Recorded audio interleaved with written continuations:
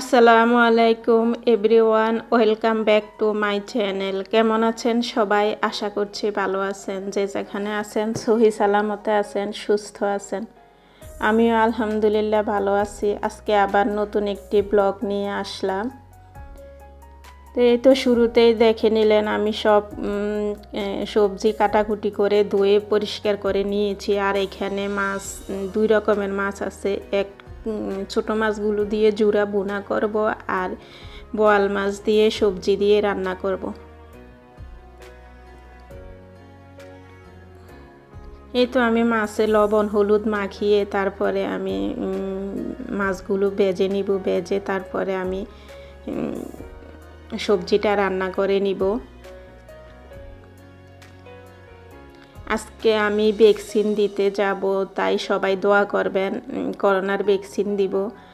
আর এজন্য আজকে আর ভিডিও করতে পারিনি, এটা আমার আগের ভিডিও করা ছিল, তাই আপনাদের মাঝে এখন একটু এডিটিং করে তারপরে আপনাদের মাঝে শেয়ার করতেছি।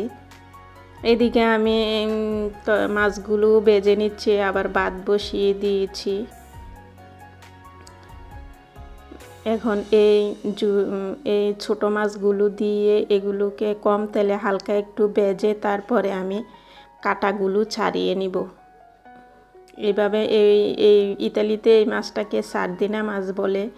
এভাবে বুনা করলে অনেক মজা লাগে খেতে। আমরা দেশে দেখা গেছে আমার মা ছোটোবেলায় এভাবে মাছ জুড়া মাছ বুনা করতো। অনেক মজা লাগে খেতে এভাবে।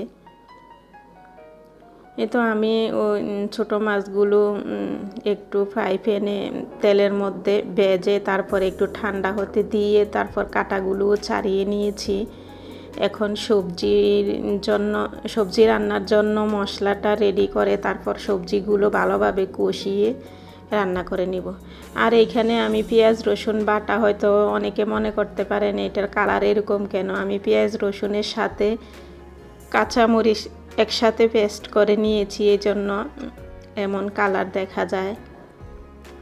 এ তো সব মশলা ভালোভাবে কষিয়ে আমি সবজিগুলো দিয়ে দিলাম। এখানে আগে ফুলকপির ডাটা, আলু একসাথে একটু বেজে নিব, তারপর ভালোভাবে কষিয়ে নিব, নিয়ে তারপর সবজিটা রান্না করে দিব। আমি ডিটেলসে কোনো কিছু আজ শেয়ার করছি না, দেখা গেছে। অনেক লম্বা ভিডিও হয়ে যাবে এই জন্য এই তো আমি এখন মাছের কাটাগুলো ভালোভাবে ছাড়িয়ে নিয়েছি। আর এই কাটাগুলো অনেক নরম, চিকন কাটা থাকে কিন্তু অনেক নরম, গলায় বাঁধে না, কোনো সমস্যা নেই। তো সবজিটা কষানো হয়ে গেছে। এখন আমি টমেটো আর মাছ দিয়ে সিদ্ধ হওয়ার জন্য জল দিয়ে দিয়েছি। আর এখানে আমি ওই মাছটা বুনা জুড়া মাছটা বুনা করে নিব।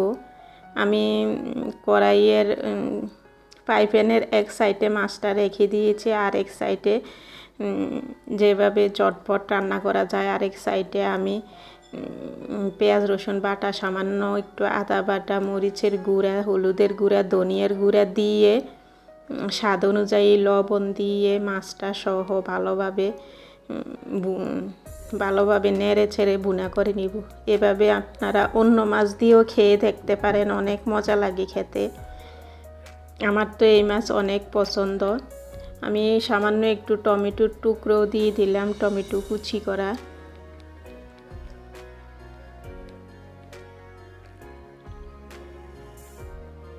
কিন্তু আমি এক সাইড থেকে দেখা গেছে মশলাগুলো ভালোভাবে একটু আগে নেড়ে ছেড়ে মিশিয়ে নিয়েছি, এখন মাছের সাথে ভালোভাবে মিশিয়ে তারপরে আমি চুলার আঁচটা কমিয়ে, তারপর আমি বুনা বুনা করে নিব।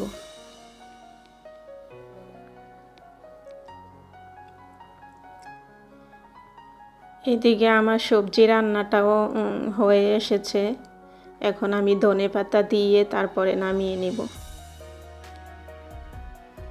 এটা আমার অনেক আগে ভিডিও করে রেখেছিলাম।